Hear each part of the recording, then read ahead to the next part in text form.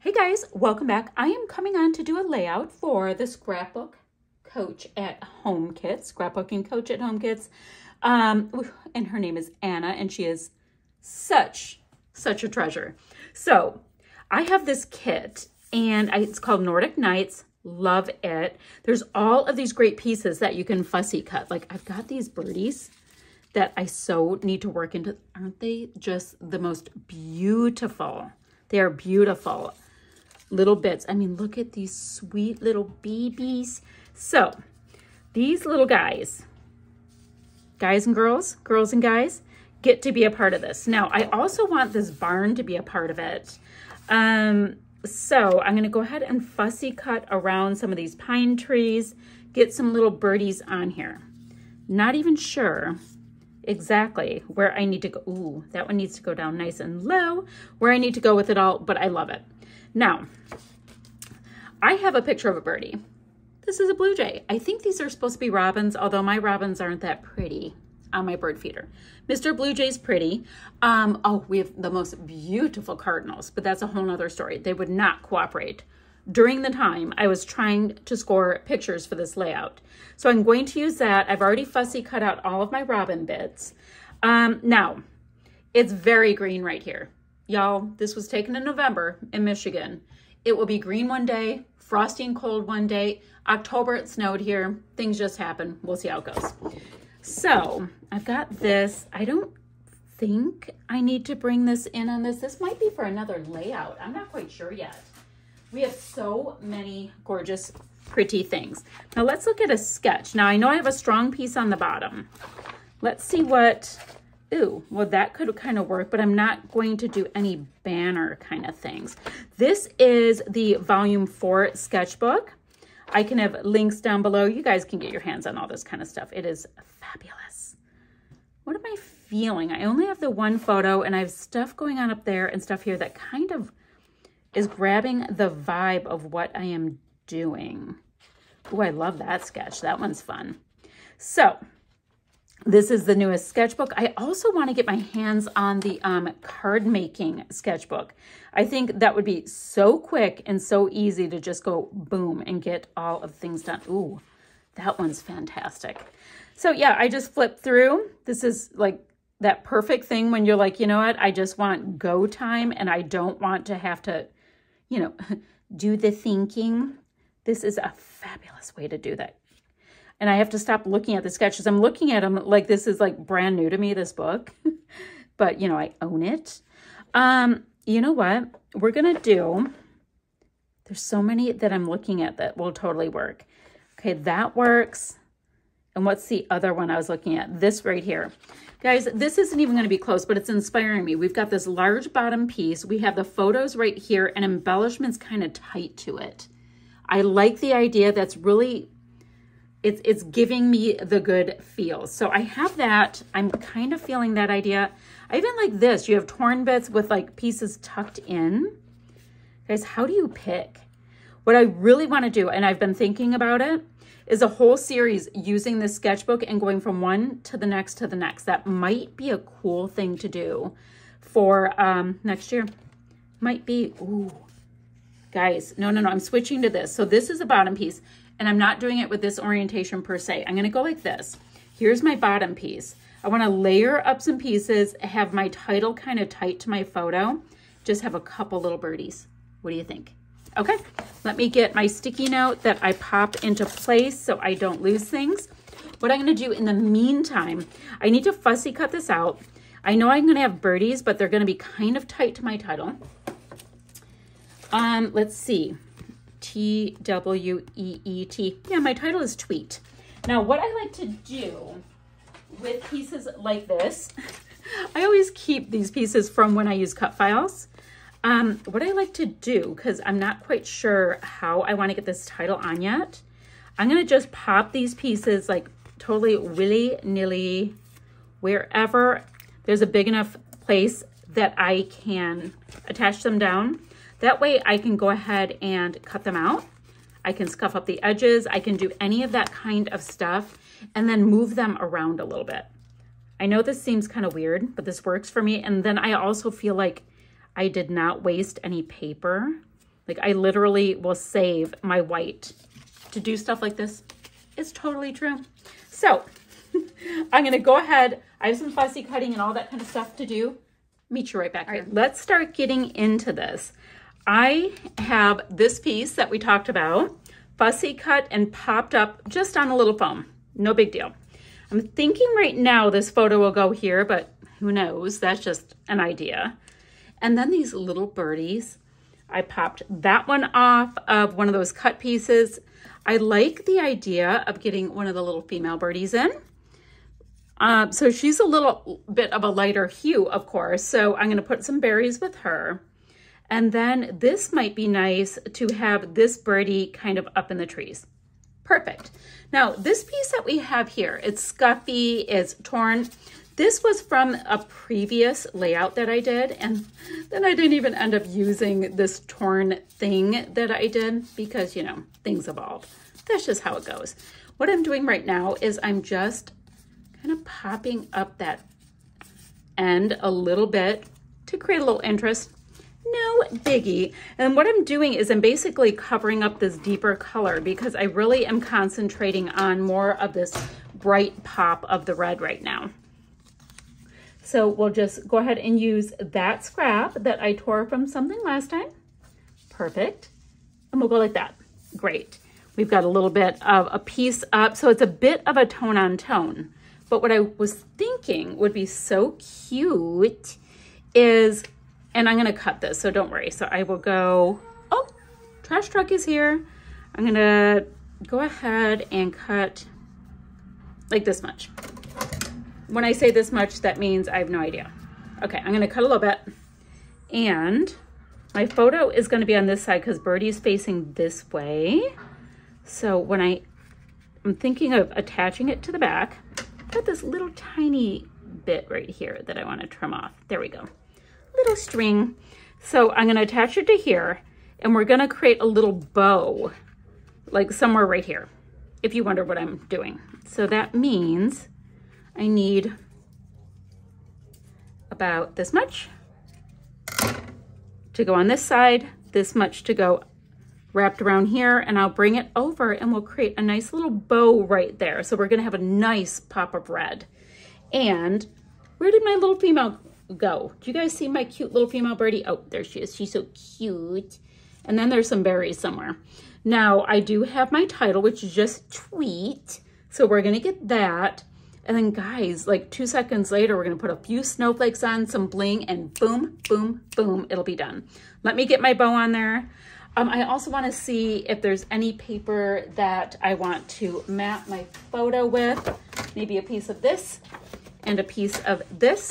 And so I have some really nice headway on this and I want to grab this like rather sturdy, nice stencil and pop in some snowflakes. And I'm thinking like the smaller ones on this because they're just going to be a little bit of something in the background.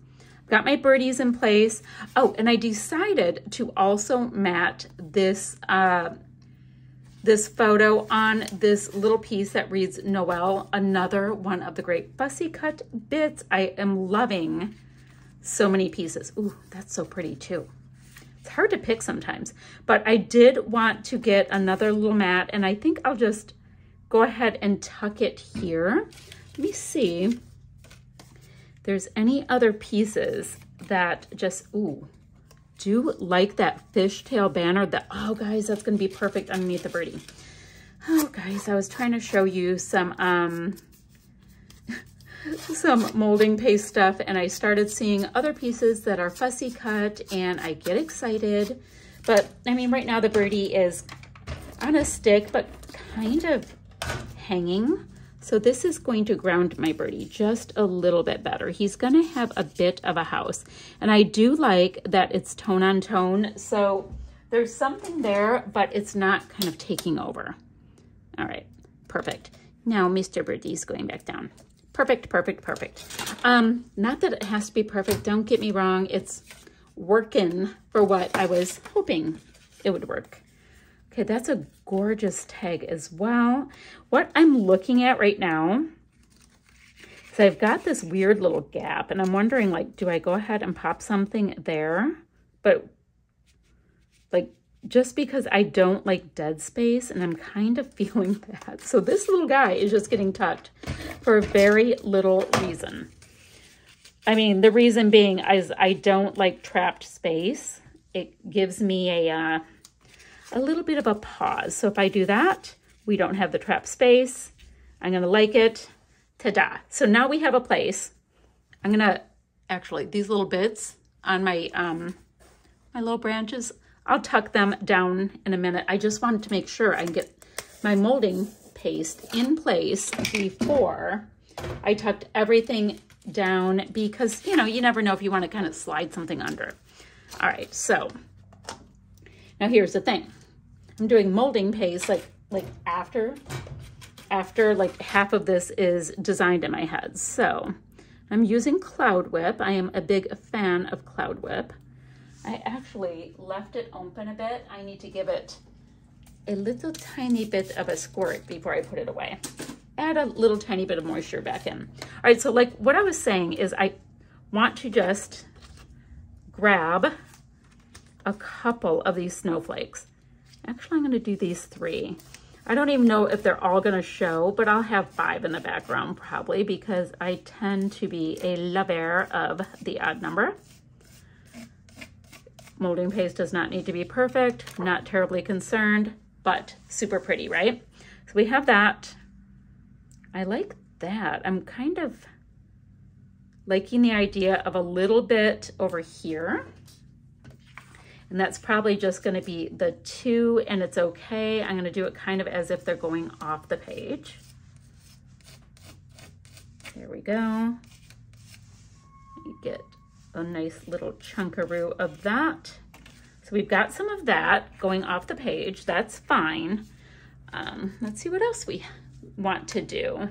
So I like that, and I think we need to do like here, here, here, and then going off the page, going this way without totally ruining the molding paste I already did. So one, two, three, four, five.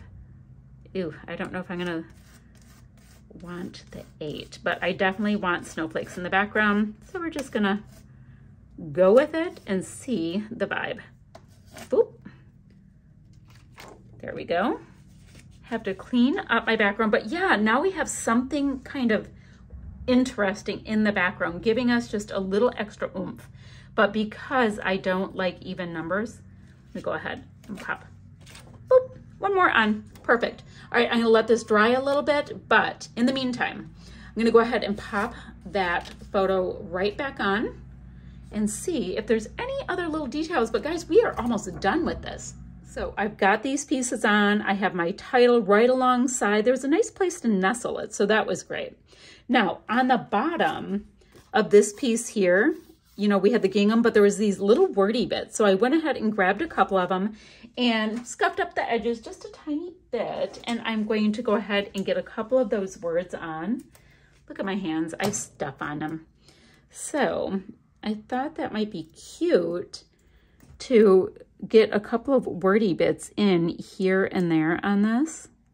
You know, we have them and it's always great to kind of build out your story a little bit. So I'll put a little wordy bit in each of my cluster. And then these cute little snowflakes. Thinking, I have some of these little itty bitty snowflakes. Wouldn't it be cute to pop them up or do I leave it subdued? But I like the idea of them popped up. So that's how that's gonna go. We've got the word love here. I have memories on that one and then cozy I'm gonna put on this one because they're sweet little birdies and they get to have little words. So cute. And it's bringing in that really nice hot pink. So pretty. All right, so what I'm gonna do now is grab a little pop dot and some of these itty bitty little snowflakes that I have. They're either fussy cut out or they are die cut out. Go ahead and curl it up a little bit. Mr. Snowflake can be a little tiny bit scuffy and pop it right in the center to give myself just a little something extra. So, for example, I've got, ooh, that's pretty. All these little bits are coming out. They're so pretty. Okay, let me find some of these fab snowflakes and see if I can find a couple of little ones because that's what I'm looking for at this point. Like this itty bitty cute little tiny bit. Let's see if I can actually get a small enough piece of adhesive on it. I might have to get like this little strip I have. I keep these um, strip pieces of adhesive on the side of my desk, kind of ready to go. I'm just to get a little tiny one, pop it right there, and I'm to keep going just like that. All right, let me get those on there. I think a couple bling bits, and I'll come back and show you the finished layout. Guys, to finish this off, I think I'm going to just do some sweet little clusters around my wordy bits of these gems. So I'm going to use one medium and two small. They're so little, it's almost hard to see them. They're so cute. I mean, once they're on the page, you can see them because gems add like so much like punch to things. Put that one down just a little bit. I'm gonna just add a few little bling bling bits and then guys, this layout's gonna be done. So I hope you like what I came up with. I have tons of paper. Of course, I have my dies. Haven't even gotten into my stamps yet. And you know, it's one of those things. I'll start getting into like these pieces when I have less paper because, you know, you're stretching the kit. And, but right now I'm just going off with all of these patterns and all of these pieces that I can fussy cut.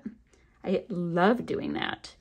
A little bit of this piece. You know what? Maybe I'll come down on this one. And then a couple of these I mean, look at how many gems I have left. It is fabulous. So I'm going to have still shots to follow, guys. I'm going to have links where you can get your hands on these goodies. You can join the Facebook group and see what everybody else is doing with these great products. And guys, I'm going to see you guys ever so soon with another video. This was so fun to put together with all of these gorgeous wintry elements. Bye for now, friends.